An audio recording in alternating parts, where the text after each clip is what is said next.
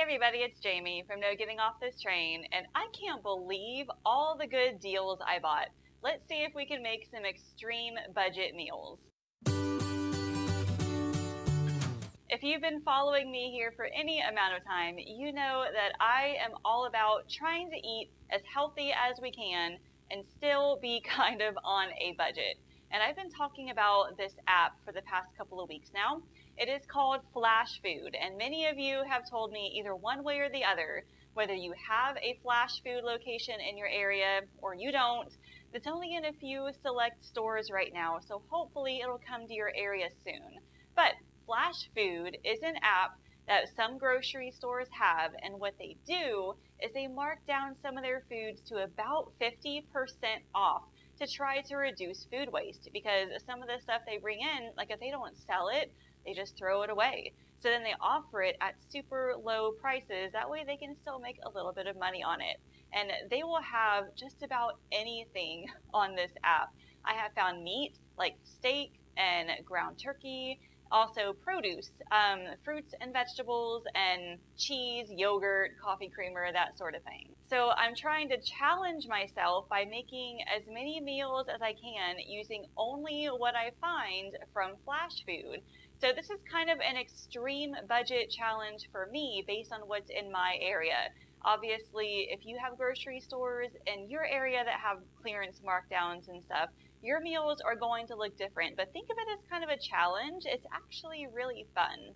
So let me tell you the cool things I found in this flash food order. So I found a box of zucchini and squash, and I found a box of bell peppers all of which were $1.50 each. Now here's the funny thing, it might be funny. These these boxes were in another city. I, I have a Meijer that's like five minutes away from me. That I just go there to get my stuff. But th- these boxes of vegetables were at a Meijer that was 30 minutes away. So I drove all the way down there to get them because my Meijer does not have a lot of vegetables in the Flash Food app. So I'm like, that's such a good deal. I need to go grab them. And then once I had them, I said, okay, what do I make with them? I also found a package of chorizo at my store for like a dollar thirty-nine. So I said, okay, I wonder if I can make a couple of things using this chorizo and the peppers and the zucchini and then whatever else I have laying around at home. So I have three extreme budget meals to show you today. Two of them are dinners, and then one is kind of like a snack slash dessert using mostly ingredients that I had at home. In each of these recipes, I'm going to break down the cost for me, both for the total recipe and then the cost per serving, just to give you an idea of how little you can spend and still make pretty good meals. So with that being said, let's get started. Here are the ingredients I'll be using for the stuffed pepper soup. Um, so the chorizo down here as you can see, it says 279 but I actually paid like a dollar 30 something for it from Flash Food. I'm also using kind of a combination of colored peppers because I got multi-colored peppers. So I'm using two green and one yellow. Feel free to use whatever kind you like. And then chicken broth, that's what I had, but you could use like vegetable broth or beef broth, whatever you have at home. So first thing I need to do is start cooking this chorizo.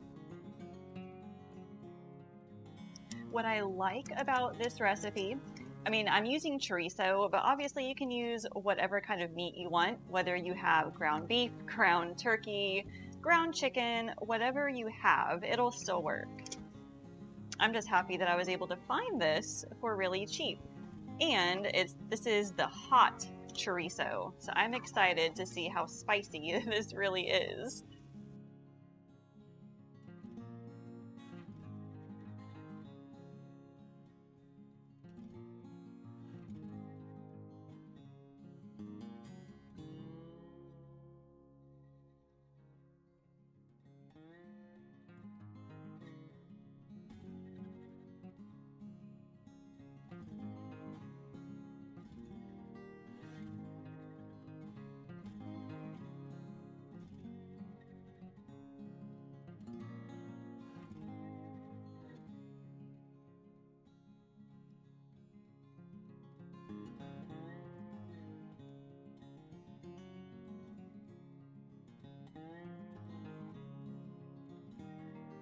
Now that everything in here is cooked, we can add the rest of the ingredients. So I have two cans of diced tomatoes, and then I have two small cans of tomato sauce. Altogether, it's about 16 ounces. And then I have my chicken broth. Um, I don't know if I need to add any more water. I think looking at this, it should be just fine. And then I'll add some seasonings and then let it simmer for a while.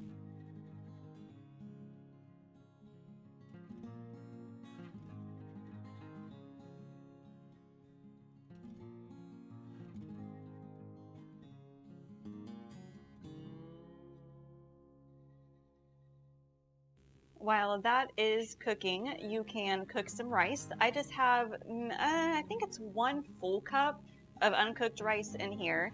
I'm using my rice cooker, but you can also use stovetop if you need to. By the time this is finished, the soup should be done. This recipe makes six very nice servings. So in a bowl, I just put a little bit of rice on the bottom and then put some of the soup on top of that. Now, this recipe only cost right around $5, which means that it is about 83 cents per serving. That is not bad.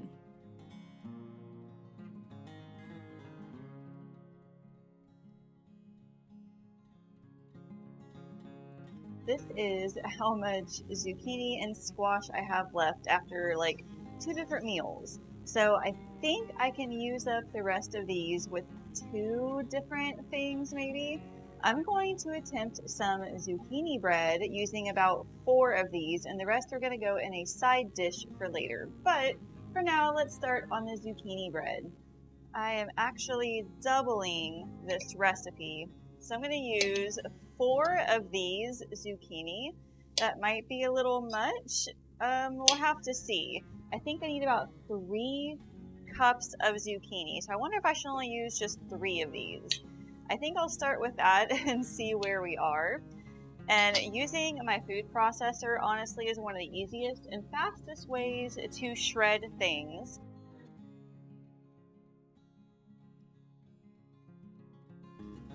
Okay, yeah, that definitely looks like three-ish cups. So now we need to kind of squeeze out some of the ex extra water and stuff. So just got some paper towels here. I'm gonna press it down really good. Now zucchini has a ton of water in it. So you might have to use multiple paper towels to get it. And like most sweetbreads, you will want to mix together the wet ingredients in one bowl and the dry in another. So like I said, I am doubling the recipe and I plan on freezing some of it. That way we can enjoy some of it later.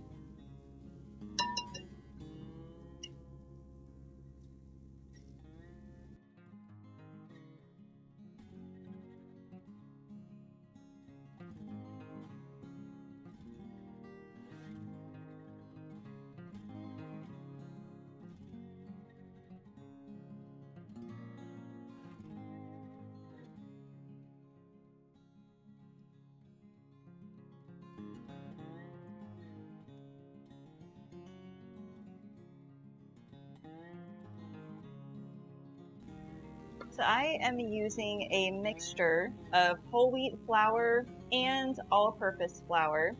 I like my bread to be soft, but I also want some extra fiber in there. Um, now, white whole wheat flour kind of creates the same texture where it is soft like the all-purpose flour, but it also still has all the fiber in it. I have just been buying whole wheat flour, and then I bought some all-purpose flour, like for cookies and stuff, and I've never actually gotten around to buying white whole wheat flour, so I might just, you know, keep both of these here, and then just mix them up when I need to. Another thing I didn't mention before was that I used applesauce instead of the oil that it called for. And using applesauce lowers the calories and the fat content of the bread. but I did that because I wanted to put peanut butter on top of my slices. That's how I like to eat them. So by taking out the fat from the bread, I'm adding it again to the bread by putting peanut butter on top when it's done.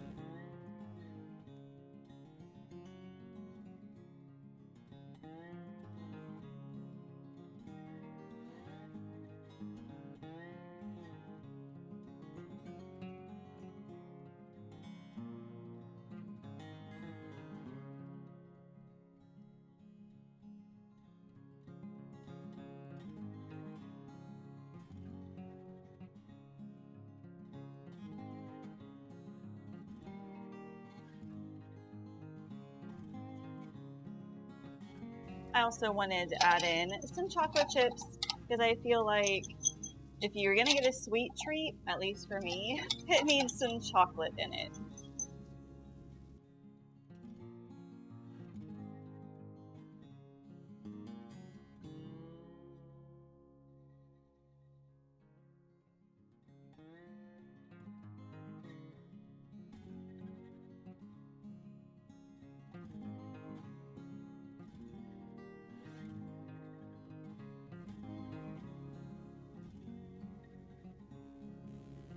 All right, now I'm going to put these in for about 50 minutes and then we'll check them after that and see if they're done. Let me tell you, this bread is so good. I sliced each one up into eight slices and I froze some of it and put peanut butter on top like I had mentioned. Now this bread for just one single loaf only cost around a dollar fifty to make and that makes it about 18 cents per slice.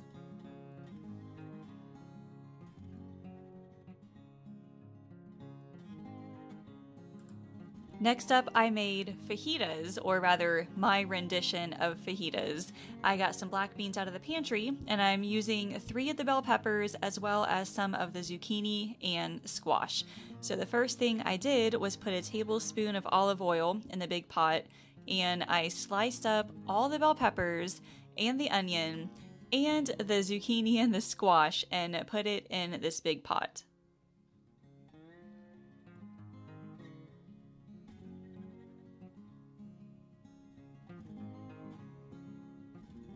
Now, I'm not sure if zucchini or squash actually goes into fajitas, but I had it on hand, and sometimes you just gotta make do with what you have.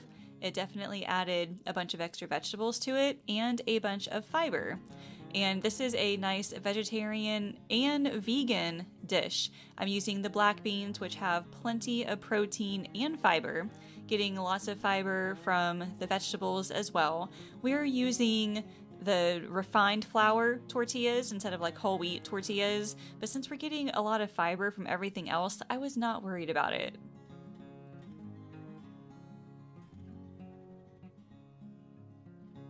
As far as seasonings go, I used chili powder, cumin, garlic powder, salt, and pepper. If I had had maybe a packet of taco seasoning, I would have done that. Um, you can feel free to add any of your favorite seasonings to it as well.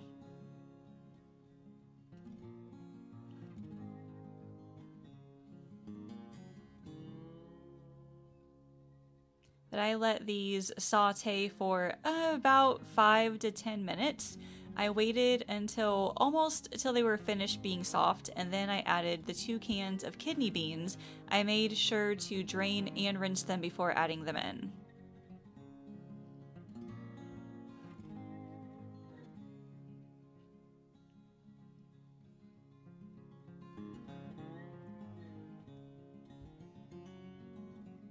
What I like about this is that you can just mix it up however you want to. As you can see, I used zucchini and squash because that's what I had available. I used three different kinds of bell peppers. Use whatever you have available, and I mean, it was super, super cheap for me.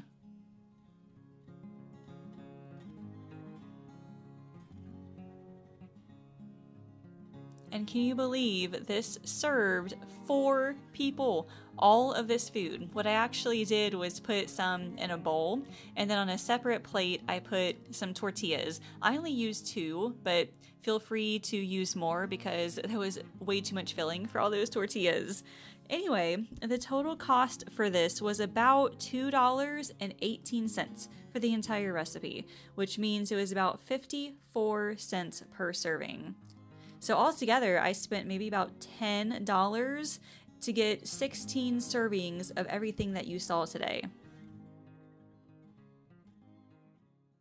So, an extra couple of food tips for you. If you cannot use up all of this produce in like the next few days, you can try freezing some of it. What I'm going to do with any bell peppers that are left over is dice them up. I'm going to lay them on a cookie sheet with parchment paper and freeze them. And then from there, I'll put it into a gallon sized freezer bag. And those bell peppers will be good for like sauteing, maybe adding in soups or casseroles. Once you freeze certain vegetables like that, they're not really all that great to eat raw just because it, it has a weird texture, it becomes very watery, so it's much better to cook those kind of vegetables. I believe you can also shred zucchini and freeze that as well. Let me know if you have done that. I have yet to do it, but I think I might if I have any of this left over. Also, try to keep some pantry essentials on hand at all times for when you get ingredients like this and want to make a meal out of it. Foods like beans, rice, diced tomatoes, salsa, uh, things like that. If you have some of those main components of a meal, you'll be able to throw something together. I hope this has given you a few ideas and has shown you that you can eat healthier foods even while on a budget. I'm going to leave my link to the Flash Food app down below. If you use that code, then you will get a $5 reward when you spend $10 on your first purchase. If you have not subscribed yet, go ahead and do so right now and like this video and ring that bell so you'll be notified when more videos like this come out, as well as my other grocery hauls, recipes, and meal planning tips. Thank you all so much for watching. I will see you later. Did you know I offer one on one nutrition coaching? Whether your goal is to lose weight, eat healthier, or just want to know how to get started, I can help you can schedule a free weight loss discovery call by using the link in the description. Thanks for watching, and I can't wait to chat with you.